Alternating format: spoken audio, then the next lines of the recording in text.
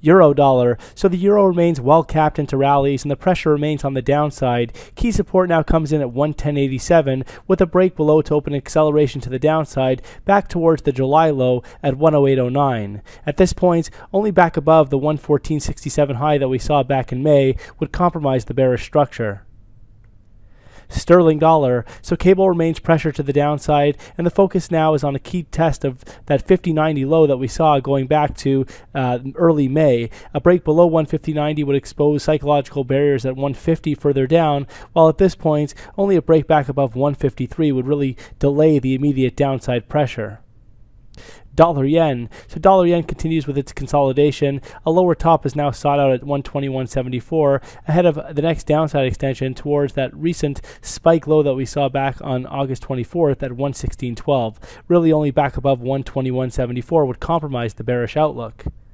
Euro Swiss. So while we've seen a little bit of a setback in Euro Swiss over the past few sessions, the market overall remains well supported on dips and has retains this recovery outlook, which favors a higher low and fresh upside towards the next measure move objective in the 112 area further up. At this point, only a break back below 107.14 would compromise the constructive outlook.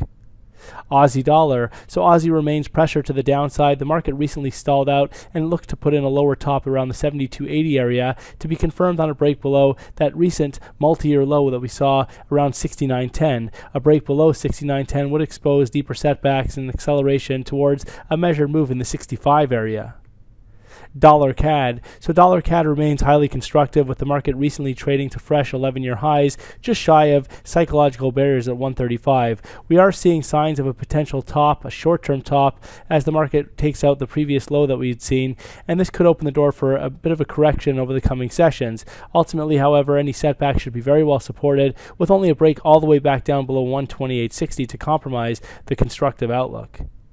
Kiwi dollar. So Kiwi remains confined to a broader downtrend. The market has been consolidating over the past several sessions, but any rally should continue to be very, very well capped uh, towards the 65 handle, with a lower top side out ahead of the next downside extension below that recent multi-year low, going back to the 24th of August at 61.30. At this point, only a break back above 67.40 would compromise the bearish outlook.